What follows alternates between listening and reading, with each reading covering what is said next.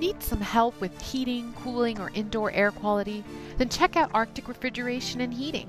Arctic Refrigeration and Heating has been around since 1984, and we believe no job is too big or too small.